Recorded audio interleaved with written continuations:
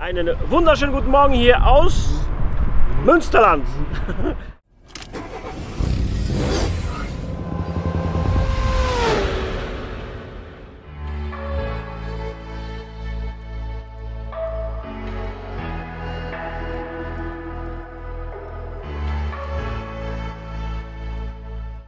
Wir sind heute beim Nissan Brömmler in Münsterland.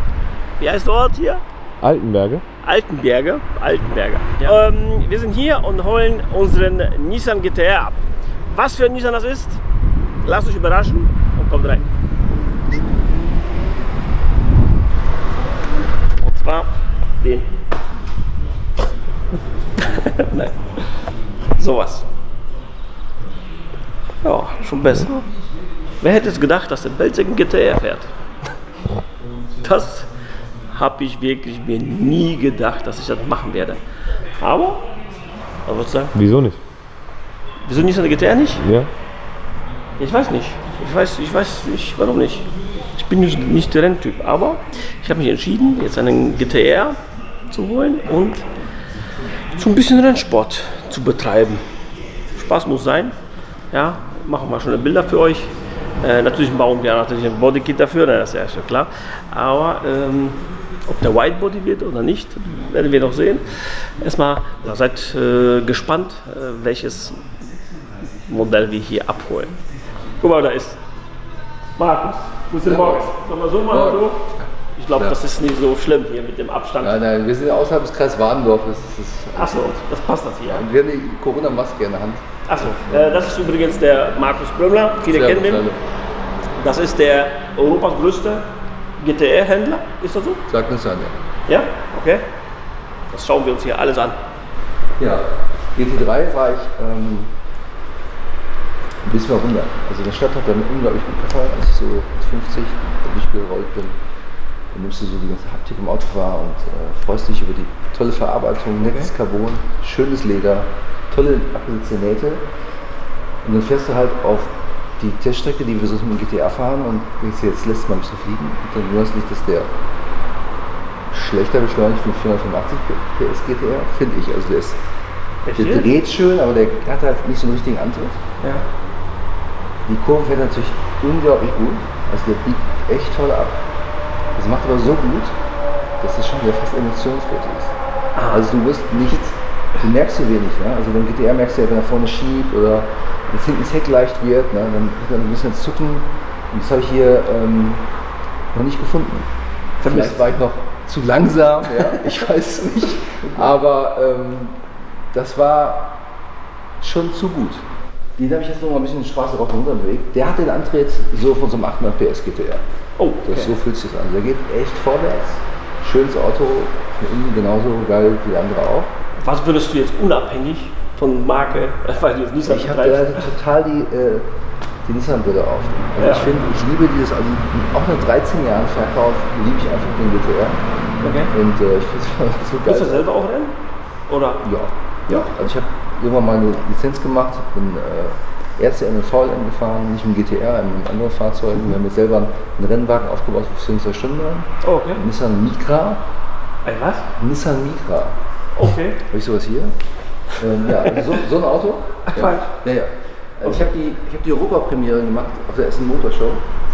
Da haben wir letzten Jahre immer einen Stand gehabt äh, für Nissan Deutschland. Ja, ich habe die Europapremiere dort gemacht und wenn du so zwölf Tage auf so ein Auto drauf guckst, dann kommst du auch mal auf komische Ideen. Und da dachte ich mir so, irgendwie hat er so ein bisschen Ähnlichkeit mit Clio. Ich Ja. wusste natürlich, dass er aus dem gleichen Werk kommt. Da habe ich gedacht, das wäre vielleicht eine gute Idee, wenn man sowas mal So, umbaut. Ne? Und laut Reglement geht das. Okay. Kannst einen Werksmotor einbauen. Also wir haben äh, Nissan die Geschichte dann erzählt, diese Mhm. Idee.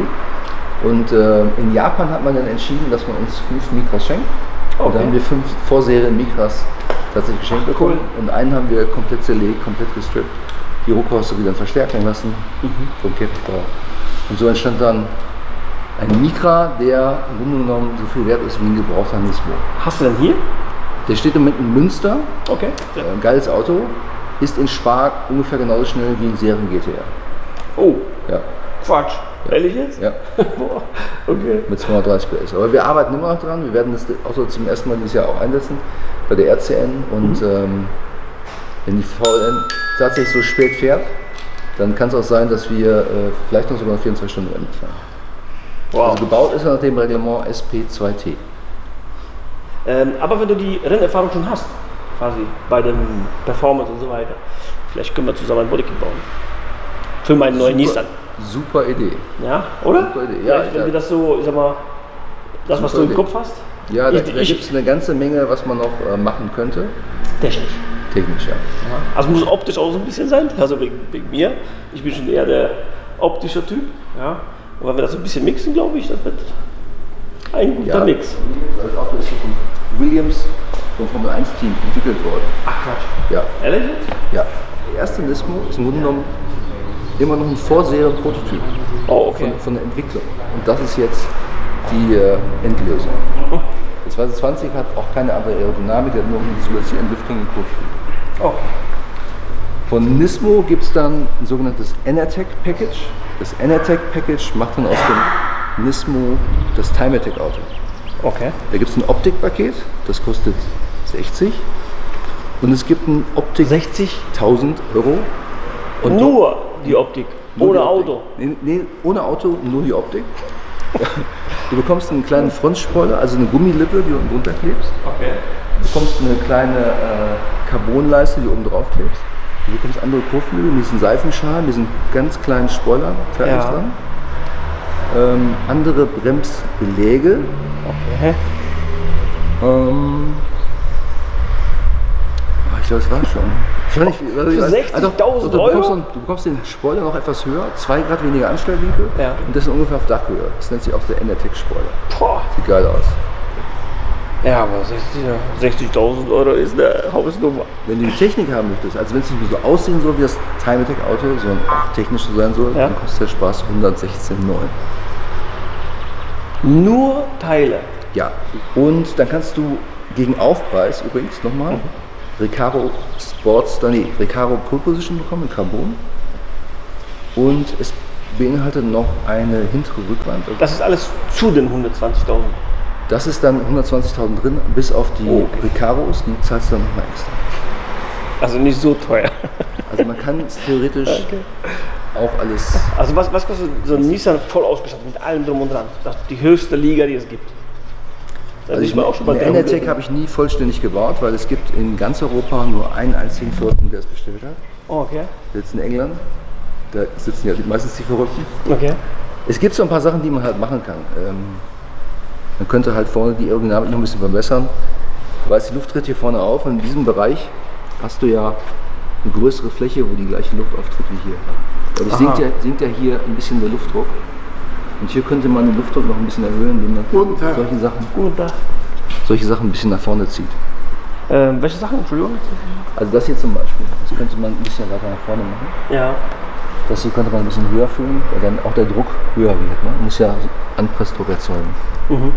Was ist, wenn man das öffnet? Ist das nicht besser? Und quasi die Luft hier, hier raus macht? Oder auf die Bremse? Nee, Nein? ist eigentlich nicht gut. Also die Luft geht ja hier rein Ja. und hier ist dann der Ölkühler hinter. Ah, okay. Oh, okay, okay. Und das hier ist eigentlich nur ein Fake, damit es optisch, optisch so aussieht. Also gleich aussieht, ja, okay. Und dahinter macht man eigentlich einen Getriebeölkühler.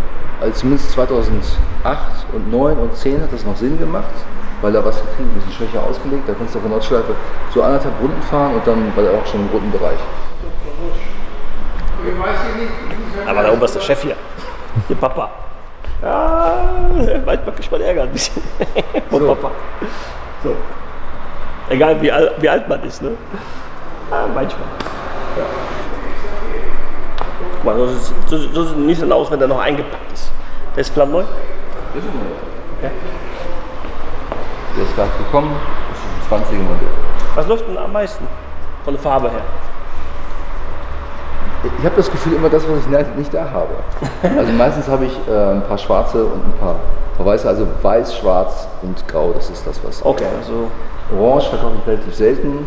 Ich finde am besten immer schwarz, polieren kannst du immer, sage ich. Ja. Hast du deine Lieblingsfarbe, was auch immer. Ja. Bei schwarz kommen die Kanten nicht. Wenn du weißen verlierst, dann ist immer diese, diese schwarze Kante. Und weiß ab Werk sieht er halt am größten aus. Da kannst du auch die Form so schön wahrnehmen. Schwarz sind dagegen ein bisschen die Form. Ja. Ähm, gehen kaputt und das Carbon verschwindet auch so ein bisschen. weiß ist da ein bisschen dominanter. Also äh, ihr tunt die auch, die, die Autos? Ja, ja. Ah, okay. Okay. Früher haben wir das gemacht mit äh, Corp Access Sport, als wir selber noch keine Ahnung davon hatten. Und dann haben wir mit SKN zusammengearbeitet. Wir machen es am besten selber. Ich meine, wenn du die, die Rennerfahrung hast, ich meine, du sitzt ja am besten am, am, am Zug. Ja? Ich die großen Hersteller, finde ich, die bauen für alle Autos. Ja? Ja. Du baust nur für das Auto und du Ja. weißt, wie der wirklich so tickt. Ja? Ja. So, für dich. Also nicht, nichts gegen die anderen Hersteller, aber. Ich verkaufe auch nie was, was ich nicht vorher auf der Rennstrecke getestet habe. Oh, okay. Wenn wir irgendeine neue Stufe bauen, dann äh, fahren wir meistens, testen wir in Ascari, da laden wir den Ismo-Werksfahrer Florian Strauß zum Beispiel ein. Und wenn der das Ding zwei Tage lang so richtig in den Arsch tritt und es dann hält, dann glaube ich, dann schafft es auch kein Kunde. Werkstatt haben wir auch, müssen wir einmal auf die andere Seite gehen. Als ich 2000, wann war das, 2016 in Dubai war, da habe ich meine Hochzeitsreise nachgeholt Ja, mit ein paar Jahren Verspätung. Tamura war mit dem Nismo-Team in Dubai. okay. Ich sag, ey, ihr fahrt GTR und ich bin nicht dabei, kann ja nicht sein. ja, komm rüber, Markus. Und da habe ich das Ding zum ersten Mal gesehen. Das ist eine Ausführung, die gibt es ausschließlich in Dubai. Die gibt es in Dubai nur mit weißem Leder, Okay. rotem Keder, ganz viel Holz. Also eher so nichts für uns Europäer. Okay. Und ähm, fahren konnte ich ihn nicht.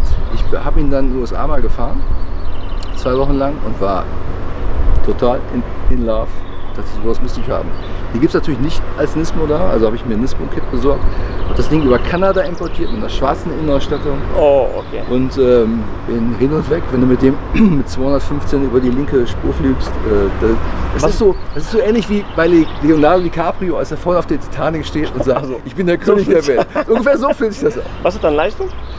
Der hat 400 PS aktuell, also da wollte ich eigentlich noch dran. Gedacht war eigentlich, dass ich das ähm, mit Grip drehe in Portimao. Okay. Da wollte ich den so 900 PS GTA geben, den Rennmika geben und den Armada und dann kam Corona. Kann man das hören? Kann man das gut hören, was er sagt? Und dann kam Corona. 900 PS in einem, in einem SUV, ja, okay. Ja, wir haben da noch einen anderen im- im Bau. Wir bauen gerade noch einen 700 PS ähm, Atlas. Den kennst du auch nicht, von Volkswagen. Äh, Nein, Zeig ich dir. okay. Das ist ein äh, VW Atlas. Den haben wir VW Atlas. Ja, die haben wir, also den gibt es nur in den USA. So. Ja, und da haben wir gesagt, 230 Plätze nett, 500 wären besser, 700 wären perfekt. Ja, dann haben wir geguckt, was da drin ist und ähm, den Motor mal ausgebaut und jetzt fertigen wir gerade die ersten Prototypenteile und machen daraus halt ein, eine Turbo-Version. Wir bauen daraus, wir machen jetzt dafür ein Bolt-On-Kit. Ist das Lamm neu? Ja, das ist Neuwagen, ja. Oh, okay. Ja, also das Auto ist frisch auf dem Markt und es gibt halt noch niemanden weltweit, der es gemacht hat. Also habe ich gedacht, mach ich doch mal. Du. Erster. Ja. Also ich glaube, ich glaub, der, der Markus Brümmler, der ist so verrückt und süchtig nach, nach, nach Leistung, wie wir nach Whitebody. Ja. Ja. Es kann nie breit genug werden. Wobei ich, ich, ich gestehe ja ein, ich habe mir auch schon mal ein Whitebody-Kit gekauft. Ne? Oh, okay. Ich habe es aber nicht angebaut. Ich habe mich einfach nicht getraut, das Kotflügel abzuschneiden. Welches Auto? GTR. Ah, Okay. GTR. Ich habe einen. Von Sea West, glaube ich. Nicht irgendwo auf dem Lager. Ach, vom Dings, Ist, ja, okay. äh, ja. ist nicht so hübsch wie dein. Ja, das, das, das ist schon sowieso klar. Das hier ist unsere Reifenstation. Hier haben wir eine Hunter Montiermaschine. Morgen. Und wenn du das Werbevideo von Hunter noch nicht gesehen hast, dann musst du dir das mal angucken auf dem Rückweg. Ist das so? Ja. Ist das so ein Das ist LaFerrari? Ja, ja ich glaube schon. Also ich glaube, ich, ich wüsste jetzt auf jeden Fall keiner, die besser ist. Da kannst du halt die Randflat-Reifen innerhalb weniger Minuten montieren und sonst brauchst du halt Ja, mit dem Original Nissan Spezialwerkzeug, Original Spezialwerkzeug von Nissan, brauchst du halt eine Stunde. Und was auch ziemlich geil ist, ist, dass, dass da eine Kamera dran ist hier, die das Ganze, die gleich da drauf, die den Montagevorgang äh, mit aufzeichnet, damit du dem Kunden beweisen kannst, dass die Macke, die jetzt dran ist, vorher schon dran war. Also, da wurde echt an alles gedacht. Okay, cool. Hier haben, wir, hier haben wir ein paar sehr nette Reifen. Muss ich sagen. Wow. Die habe ich letztes Jahr von Nangang äh, zum Testen geschickt bekommen. Ja. Und die habe ich dann mal getestet. Da habe ich von Yokohama die neuen A005 bekommen zum Testen. Und diesen habe ich dann mitgenommen. Ich habe angegriffen. Nach der halben Runde, oder drei Viertel war, war die Runde, hatte ich, war ich zwei Sekunden schneller als die schnellste Runde auf den Yokohamas. Ernsthaft? Zwei Sekunden. die erste schnelle Runde mit dem Reifen. Und äh, dann kam die weiße Fahne, dann musste ich abbrechen. Aber- also der, das Ding kann was. Allerdings, ich würde damit nicht im Regen fahren wollen. Nein, das kann ich mir vorstellen, ja. Aber er macht auch so ein bisschen Abrollgeräusche. Aber das Ding hat Grip. Ich bin ausgestiegen aus dem Auto und ich gefühlt bin ich zwei Stunden ums Auto gelaufen und habe jedem, der vorbeikommt, erzählt, wie geil er- dieser Reifen ist, was ich ja gerade erlebt habe. Ich, ich konnte es nicht fassen. Das war das effektivste Tuning, was ich jemals gemacht habe, diesen Reifen zu montieren. Kostenpunkt? Ah, ich kenne so die Einkaufspreise. Na, Verkaufspreis, ungefähr. Ich glaube so knapp 300. Der Yokohama liegt über 500. Ja, ja, deswegen ja. Also, ich wollte es nicht so sagen, aber äh, Ja. Ich kenne von GTR, ich habe ein paar Kunden äh, mit GTR und da kenne ich die Preise, die sind anders als 300. Ja. Auch schön sauber hier, ne? Ist auch so ein bisschen viel So sieht das eigentlich immer aus. Also Okay. ich habe äh, mit mehreren Anläufen eine Aufsitz-Kehrmaschine oder Aufsitz-Schubmaschine gekauft, die da vorne steht. Äh, ich bin immer losgegangen, ich dachte mir, ich will sowas haben, wo die Leute sich draufsetzen und dann durch die Gegend fahren, ja, weil ich will nicht, dass die die Handmaschine nehmen und Ja, ja. abnehmen, weil da hat ja keiner Bock drauf. Ja. Aber wenn da ein Ölfleck ist und die können mal eben draufspringen und mal eben ein bisschen drüber fahren, ja, Ist kein und sich entspannen, dann macht das jeder. Und äh, das, das ist im Grunde der Schlüssel, warum es hier so sauber ist. Die haben Spaß dran, sauber zu machen. Ist äh, Leistung sehr mäßig? Ey, die Leistung ist regelmäßig. Das ist so meins. Fetter Spoiler. Ja, hier liegen wir weiter vor. Morgen fahren wir wieder auf den Track Day. Und ähm, den bereiten wir jetzt vor. Das Auto, was wir mal gebaut haben, ist ein Vorserienauto. Und hier ist äh, Carbon? Ach Quatsch. Alles? Hier ist nicht mehr viel Blech dran. Der ist 300, Kommst du der ist 300 Kilo leichter. Oh, okay. 300 Kilo. Ja, das ist ja heftig. Das ist eine Welt. Ja, ja. Und der hat immer noch Allrad und der hat 700 PS. Boah. Und ein bisschen. Gute, sehr gute Bremse drauf. Und ähm, unsere italienischen Schmiedefelgen, die auch eine Verzahnung haben auf beiden Seiten, damit der Reifen nicht rutscht. Auch ganz wichtig. Oh, okay. Also auf dem GTR kannst du nicht jedes, jeden Reifen drauf machen. Meinst du, die, die, die, die Reifen rutschen von der Felge? Quatsch. Ja, Ja gut, bei, bei, Ja, der also Leistung bei dir. Ich, ich weiß ja, dass bei Breitbauten Ja. breite Felgen aufgebaut Ja. werden. Und ich weiß, dass da ab und zu äh, viel Unwucht gibt in den, in den Dingern. Ne? Okay. Und äh, die Hauptursache wird wahrscheinlich sein, dass die Verzahnung fehlt. Wenn du eine Runde Nordsteil fährst und du hast keinen drauf, wandert der eine Viertelumdrehung, Boah. der Reifen. Wir müssten jetzt mal einen nehmen, hochnehmen, dann erkläre ich dir noch was anderes. Also du musst von, von den Dämp durch den Dämpfer im Grunde auch eine Linie ziehen und die Linie muss unten in der Mitte der Felge auf den Boden treffen. Dann hast du den, den perfekten Punkt. Oh, okay. Ähm, sonst geht, funktioniert der Dämpfer schlechter. Also ich, äh, Da ist vieles, was man nicht gut machen kann. ja, Also man muss aufpassen. Deswegen, wenn wir ein Kit mit dir machen, sollen wir machen? geht gern. Er erklärt wie, wir bauen. Also man muss ein paar aerodynamische Hilfen geben. Also vorne könnte man ein bisschen breiter werden. Hinten, das ist ein 345er Reifen, der jetzt drauf ist. Was willst du- Das da ist ein 345er. Was willst du denn drauf machen? Ah. Weißt du was? Äh, ähm, Gibt es keinen kein Abluft für die Brem äh, für, für, für Bremse? Von, von der ganzen, weil ich meine, hier staut sich ja unnormale Hitze hier drin, oder nicht? Ja, also es wäre gut, wenn der eine Bremsbelüftung hätte. Das ist richtig. Die Bremsbelüftung, die es im Moment gibt für das Auto, sind eigentlich unzureichend. Wir haben ähm, eine entwickelt, die, da müssen wir drüber hin, die haben wir in Carbon und in Kevlar gebaut. Ähm, das ist so ein dreidimensionaler Sch- Schlauch aus Carbon oder aus Kevlar. Okay. Damit kriegst du die Luftführung hin, dass die direkt auf die Bremse geht. Das heißt also, die Luft wird hier unten tatsächlich gesammelt durch einen Luftsammler. Ähm, beim normalen Auto ist es so, dass der hier, hier gerade ist und diese Fläche, die steigt ein bisschen an. Und da, da würde er die Luft sammeln und dahinter sitzt dann quasi ein Trichter, der die Luft dann wieder führt. Mm, okay. Das die effektivste, die wir bis jetzt gefunden haben. Alles andere, was wir mal gekauft, probiert, selbst gebaut haben, ist da schlechter. Das ist schon das Beste.